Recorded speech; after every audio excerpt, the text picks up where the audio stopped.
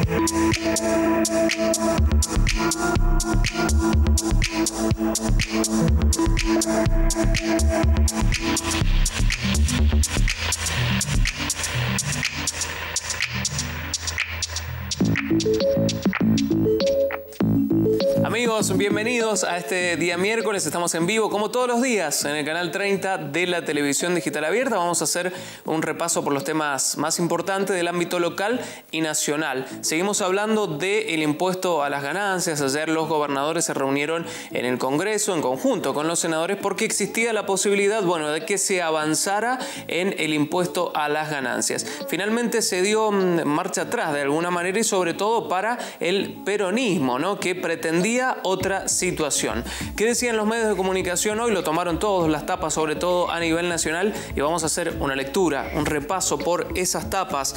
Lo decía Clarín, Macri contraatacó y negocia con el Partido Justicialista y también la CGT un proyecto de ganancias. ¿Qué decía la Nación? El Senado frenó el dictamen de ganancias para que el gobierno reabra el diálogo y también página 12 decía el aprete de ganancias. Distintas miradas enfocadas cada una en la, en la línea editorial que mantienen las tapas y los medios de comunicación a nivel nacional, pero haciendo foco en que de alguna u otra manera se em, enfrentó o se cambió lo que planteaba el justicialismo a nivel nacional cuando hablamos del impuesto a las ganancias. ¿Qué sucedió ayer? Bueno, se los vamos a contar. Para eso está Verónica Gordillo con nosotros. Vero, buenas tardes. Buenas tardes, Lucas, ¿cómo estás? Y tal como decías, todo este frente opositor que se había reunido detrás del proyecto para modificar el sistema de ganancias tenía la intención con el Frente para la Victoria eh, por delante, digamos, de sacar un dictamen en, eh, en la Comisión de Hacienda y Presupuesto y hacer así avanzar en el Senado este proyecto de ley. Finalmente no fue así y en este sentido tuvo eh, importancia el acuerdo que trató, al que trató de llegar el Ejecutivo Nacional a través de su ministro del Interior, Rogerio Frigerio, como así también la presión que hicieron los gobernadores, que recordemos, ayer se reunieron para asegurar que este proyecto, tal como está hoy redactado, no los beneficia porque las provincias recibirían menos dinero y los impulsó entonces a realizar modificaciones en ese proyecto. Bueno, contanos, eh, ¿en qué quedaron? ¿Qué es lo que se resolvió? Bueno, finalmente este, este frente opositor con el Frente para la Victoria por delante le propuso al Ejecutivo realizar una especie de mesa de diálogo para tratar de llegar a un acuerdo. El Ejecutivo aceptó esta propuesta a cambio de que, bueno, el Frente para la Victoria dijo, si ustedes aceptan abrir esta mesa de diálogo, entonces nosotros nos vamos a seguir con el avance de este proyecto en el Senado. En esta mesa de diálogo deberían estar involucrados tanto los gobernadores como los sindicatos y los bloques legislativos de ambas cámaras, que es en eso en este momento en lo que está trabajando el gobierno. Bien, em, y en ese mismo sentido, eh, Macri hoy se reunió con su gabinete, por lo menos los más cercanos de su equipo técnico, para seguir discutiendo esta situación, ¿no? Sí, porque el presidente, tal cual dice en todos los medios, vio como una especie de triunfo, digamos, este primer freno a este proyecto de ley y esta mañana se reunió con la mesa chica de su gabinete, específicamente con su jefe de gabinete, Marcos Peña, y algunos de los eh, demás eh, funcionarios de las áreas de economía y de finanzas para tratar de ver cómo ahora avanza este proyecto de la mesa de diálogo. Todavía no hay comunicaciones respecto a las conclusiones que sacaron, pero bueno, es obvio que eh, el Ejecutivo le ha dicho que va a marchar con esta mesa de diálogo para tratar de llegar a un acuerdo con la oposición. Bien, ¿qué plantearon los gobernadores ayer respecto a este proyecto del impuesto a la ley de ganancias? Bueno, veamos lo que decía eh, Urtubay por un lado y Esquerete por el otro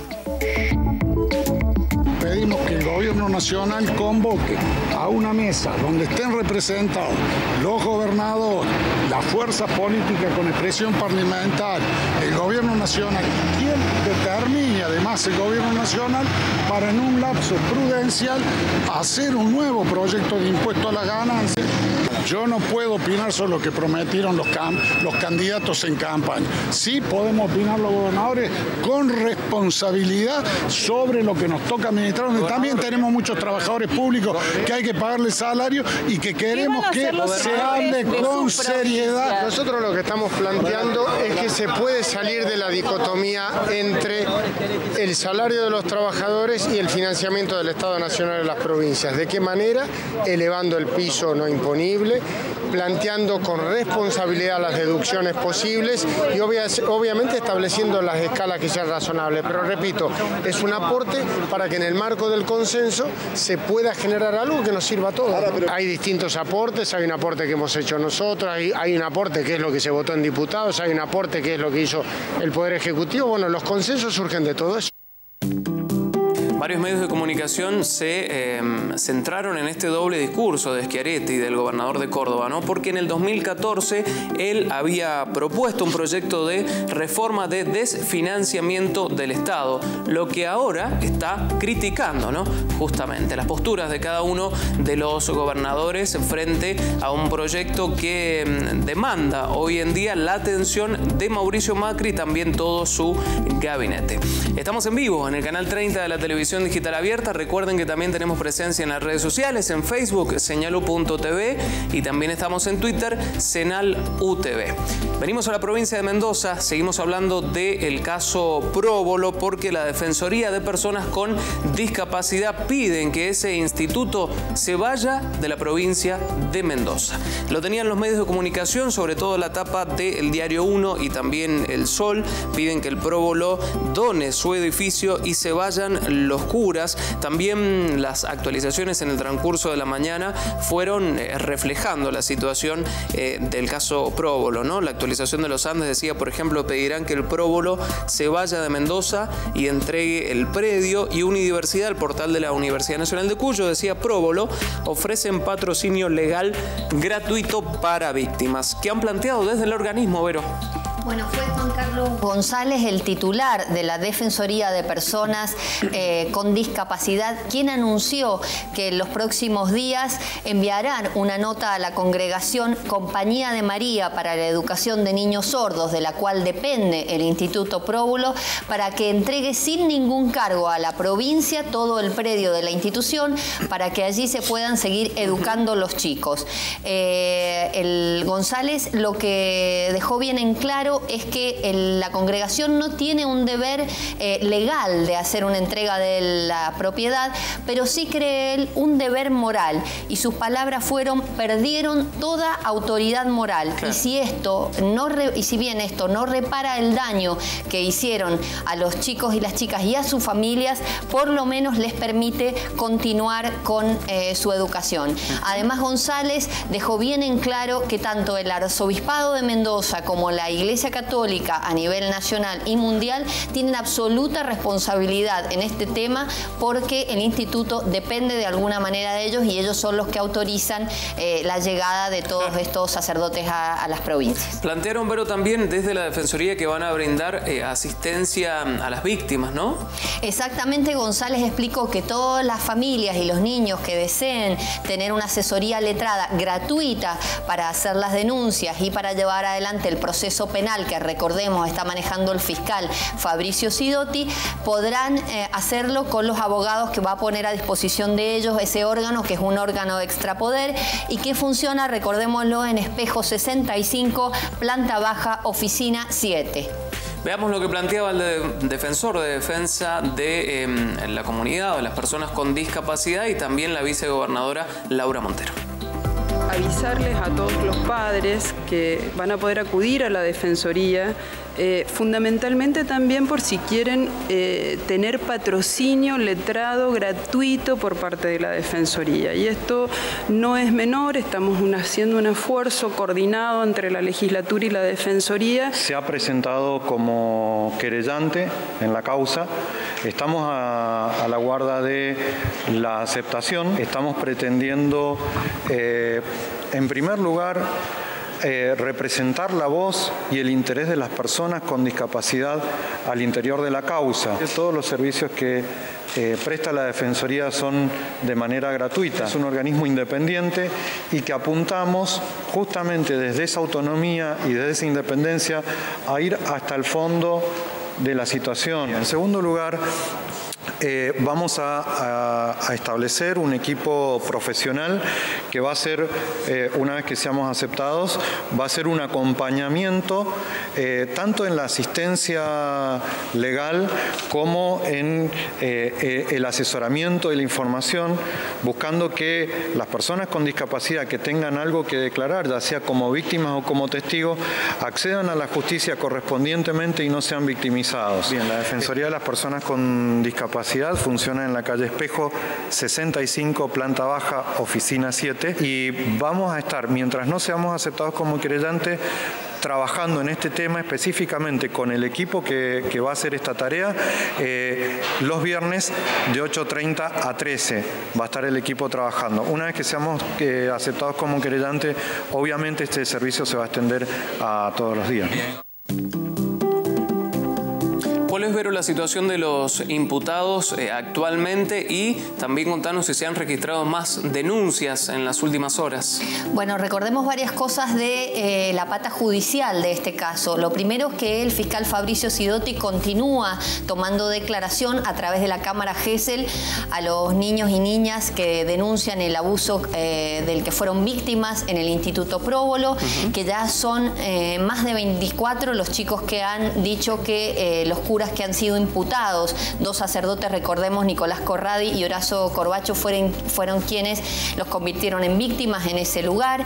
Y además también recordemos que la Defensoría ha solicitado convertirse en querellante en la causa. ¿Y esto qué significa? Bueno, que pueden presentar pruebas, nuevos testigos, aunque aún la justicia no ha determinado este tema y no les ha contestado. Se registró, Vero, un, caso también o una denuncia ayer en, La Plata. De hecho, lo comentamos aquí el mediodía nosotros, lo cual eh, hace más compleja aún la, situación de esta eh, trata que se hace a nivel eh, país y a nivel internacional también, ¿no?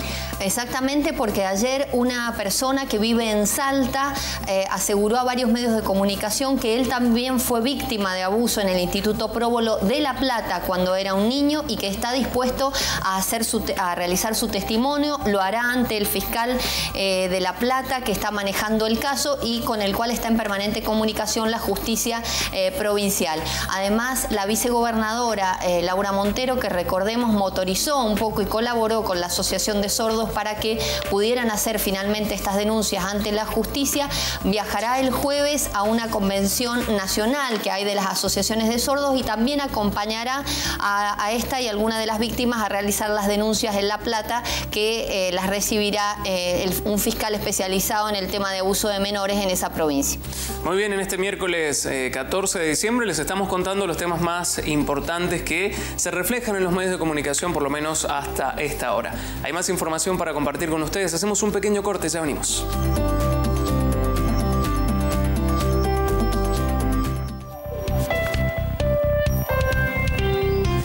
Seguimos situados en el plano informativo local y vamos a hablar de emergencia sanitaria porque el gobernador Alfredo Cornejo determinó que, se, eh, que haya una extensión de eh, seis meses para la emergencia sanitaria con todo lo que eso implica en la provincia de Mendoza. ¿no? Veamos lo que decían los medios. Lo tenía la tapa de los Andes. Cornejo prorrogaría seis meses más la emergencia sanitaria. También el Sol hacía eco en esta noticia. Cornejo prorrogará la quita del ítem productivo uno de los puntos que se desprende de esta emergencia sanitaria, que ya le vamos a contar de qué se trata. Pero antes, ¿qué permite? ¿Qué significa la emergencia sanitaria, Vero? Bueno, recordemos que esto está en vigencia y aprobado por la legislatura desde el año pasado, ya lleva un año en vigencia y obviamente esta emergencia sanitaria le permite al gobierno realizar cosas que no podría hacer en otro momento. Por ejemplo, hacer contrataciones directas en lugar de hacer licitaciones, controlar absolutamente todas las administraciones de los órganos, tanto centralizados como descentralizados de la salud,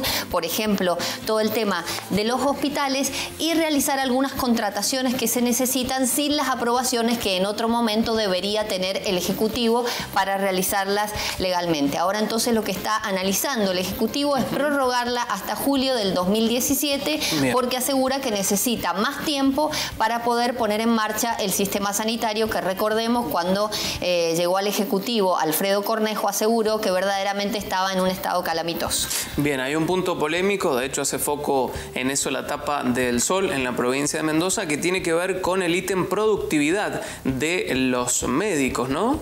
Exactamente, porque esta emergencia sanitaria también incluyó eh, el que se deje de pagar este ítem por productividad a los médicos y a los profesionales de la salud, que recordemos, esto es un porcentaje de lo que reciben o lo que recaudan los hospitales por atender a personas que tienen eh, una obra social, pero que por alguna problemática asisten de todas maneras al hospital público. Esto se dejó de pagar en el momento que se aprobó la emergencia sanitaria. Y a raíz de esto es que la Asociación de Profesionales de la Salud, AMPROM, presentó un recurso ante la justicia y fue la Suprema Corte la que si bien no eh, decidió el tema de fondo, es decir, no dijo si estaba bien o mal que el Estado lo siguiera o no pagando o le ordenó hacerlo, sí le ordenó al Ejecutivo que siga cuantificando y que siga liquidando cuánto es el dinero que les debería a los estatales por el año que no les ha pagado y en todo caso por el tiempo que ahora, eh, si la prórroga sigue adelante, debería de pagarles ese ítem de productividad que hoy no están cobrando los estatales que trabajan en el sector salud. Muy bien, cambiamos eh, de tema, seguimos enfocados en la provincia de Mendoza. Muchos mendocinos eh, tuvieron problemas hoy en el transcurso de la mañana, sí necesitaban hacer un trámite bancario, ¿no? Porque ya lo habían anunciado desde la bancaria, hubo un paro hoy en la mañana solo en las eh, entidades em, extranjeras, ¿no? De financiamiento extranjero. Pero también hay posibilidades de que se extienda para mañana el paro para todas las entidades financieras, tanto privadas como públicas. Vamos a ver lo que decían los medios de comunicación respecto a esta noticia. Los Andes, decía, ratificaron el paro bancario pese a que se dictó la conciliación obligatoria, que era lo que pedían desde la bancaria. El Sol decía, a pesar de la conciliación, los bancarios pararon este miércoles y Sitio Andino también eh, se enfocaba en esta noticia. Bancarios ratifican el paro pese a la conciliación, conciliación eh, obligatoria. ¿Cuáles son los motivos de esta medida? Se los contamos. Bueno, primero el Ministerio de Trabajo, de Empleo y Seguridad Social resolvió dictar la conciliación obligatoria en este conflicto, al que recordemos que llamó, a la, llamó la bancaria a un paro de 48 horas, justamente porque después de haber eh, llegado a un acuerdo con los empleadores, estos no lo habían ratificado. Entonces el Ministerio dictó la conciliación y convocó a las partes a una reunión para el viernes. Pese a esto, se conoció horas más tarde un comunicado de la Asociación Bancaria a nivel nacional, quien ratificó el paro, pero para el día de hoy en todas las entidades eh, y bancos extranjeros que hay en la Argentina. Eh, en un primer momento dijeron que no habían recibido la comunicación del Ministerio de Trabajo, pero lo cierto es que el comunicado solo habla de la ratificación del paro por el día de hoy y mañana seguramente darán una nueva comunicación hoy en las últimas horas de la noche o a primera hora de la mañana. Claro, porque hoy en el transcurso de la mañana, sobre todo en los medios eh, eh, radiales, pero desde la bancaria manifestaron eso, ¿no? Que está la conciliación, pero ellos no han sido notificados. Por lo menos eso es lo que dijeron en el transcurso de la mañana y que el paro de hoy era estable y posiblemente el de mañana. No sabemos si en el transcurso del día sean eh, notificados desde el gobierno y entonces ya se dé marcha atrás con el paro de mañana, ¿no? Exactamente, ellos dijeron que no, se, eh, no estaban corriendo los tiempos legales que debían para detener el palo teniendo en cuenta esta conciliación obligatoria porque no les había llegado justamente la notificación. Muy bien, muy buenas eh, noticias para los trabajadores estatales porque lo anunció el ministro de Hacienda, Martín Kirchner, el 19 van a cobrar el medio aguinaldo los estatales y esto lo tenían los medios de comunicación en la provincia de Mendoza. Bueno, buena noticia para los estatales, ver. Exactamente, y fue el ministro de Hacienda, Martín Kirchner, quien lo anunció a través de su cuenta de Twitter que el pago del aguinaldo para los estatales se realizará el lunes 19 de diciembre. Recordemos que tanto el ministro como el gobernador Alfredo Cornejo están en una gira por Estados Unidos en búsqueda de algunos inversores. Es por esto que utilizó su red social para anunciar esta novedad a los estatales. Recordemos además que la noticia se da en un momento en que el gobierno nacional, a través de un decreto, ratificó que el aguinaldo no pagará eh, ganancias. Un anuncio que ya había hecho el gobierno nacional, pero que ahora lo ratificó a través del decreto. Ya hay novedades en el plano educativo por ejemplo, cuándo va a ser la apertura de este ciclo electivo en el año 2017, pero también algunas complicaciones en el ámbito de la docencia en la provincia de Mendoza. Hacemos un corte, enseguida les contamos.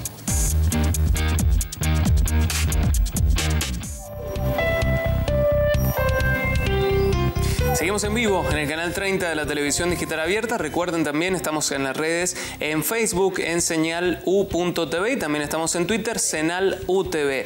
Unidiversidad.com.ar es el portal de la Universidad Nacional de Cuyo. Allí están todas las actividades y coberturas periodísticas que hace Señal U, pero también todos los medios de la Universidad Nacional de Cuyo. Vamos a hablar mm, de noticias que tienen que ver con el ámbito educativo en la provincia de Mendoza porque ya hay novedades respecto al 2017. Hagamos un repaso por lo que tenían los medios de comunicación. Decía Los Andes, ciclo lectivo 2017, las clases comenzarán el 6 de marzo y terminarán el 7 de diciembre. Y el Sol también hacía con esta noticia, calendario escolar, las clases comenzarán el 6 de marzo. Ciclo lectivo 2017 definido, Vero. Exactamente, lo dio a conocer a través de un comunicado la Dirección General de Escuelas, todo este cronograma del calendario escolar 2017.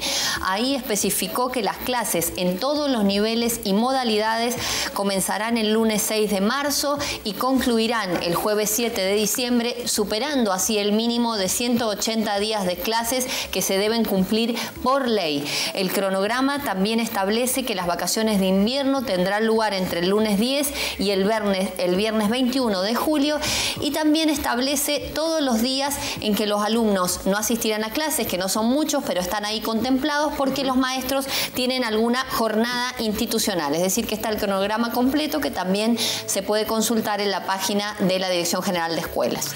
Seguimos en el plano educativo porque ayer desde el SUTE, Godoy Cruz, em, notificaron a todos los mendocinos respecto a denuncias con la reforma o la resolución de la continuidad de suplencias que emitió la Dirección General de Escuelas. Veamos lo que decía.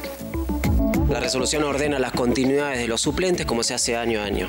Lo que nosotros salimos a denunciar es que esta resolución en particular da de baja a cientos de compañeros de distintos grupos. Primero, algo inédito, que es en secundaria común, secundaria técnica, modalidad de educación de jóvenes y adultos, educación especial, escuelas artísticas, dan de baja a compañeros que son estudiantes, que les pueden quedar pocas materias para recibirse y que las resoluciones anteriores de continuidad le daban continuidad. Segundo grupo, nosotros tenemos gente que son reemplazantes, supongamos que está reemplazando a alguien que está enfermo. Puede ser que esa persona enferma, supongamos, se jubile o renuncie. Vos pasás a ser vacante. El reemplazante pasa ahora a estar en un cargo que está vacío. Los cargos vacantes continúan, siempre. Bueno, acá lo que han planteado también algo inédito, que es darle de baja a aquellos a quienes se hubiese producido un cambio de artículo. Y lo último, han planteado en particular para las escuelas artísticas, que son las escuelas vocacionales. Solamente tendrán continuidad cuando la matrícula no esté en riesgo. ¿Qué es matrícula en riesgo? No lo sabemos porque no lo han definido, pero básicamente es una especie de poder arbitrario que permitirá a los supervisores o alguna inspección decir, bueno, acá hay pocos alumnos, no estoy la continuidad, entonces baja. Se está todo el tiempo esta espada de Damocles sobre las escuelas donde se está observando las matrículas, entonces se cierra un curso y eso se usa a lo mejor para abrir en otro lugar donde hay una necesidad. Una escuela artística de la Cera nos mandó un comunicado, eh, porque como les decía, una de las son el tipo de escuela más afectada por esta resolución escuelas como esa prácticamente se vaciarían de docentes. Van a estar convocan a las 10 de la mañana el jueves en casa de gobierno eh, para defender la continuidad de todos los suplentes, hacer probablemente ahí alguna actividad artística, ya que esta escuela se ha movilizado hay que aprovechar digamos, esa, esa iniciativa y acompañarla para estar ahí. Bueno, esto era desde el SUTE de Cruz, ¿no? Poniendo el foco allí en la continuidad laboral de los eh, suplentes. Justamente son muchos dentro de las eh, categorías de la actividad escolar en la provincia de Mendoza y es por eso que hay un gran porcentaje de docentes suplentes que quedarían sin trabajo si se llevan adelante estas eh, políticas. Ellos han decidido con algunas escuelas también manifestarse mañana frente a Casa de Gobierno a partir de las 10 horas. Invitan obviamente a todos los docentes que estén involucrados también en esta situación, ¿no? principalmente los suplentes. Hasta aquí llegamos con la información. Esto han sido los temas más importantes del plano local y nacional, por lo menos lo que se desprende de la agenda de los medios de comunicación. Vero, será hasta la semana que viene. Que tengas una excelente tarde. Hasta mañana, Lucas. A ustedes también les deseamos una excelente tarde. Recuerden que a las 21 horas actualizamos toda la información en la edición central. Nosotros nos vamos a reencontrar mañana, por supuesto, a la hora 13. Muchas gracias. yo soy tu amigo fiel.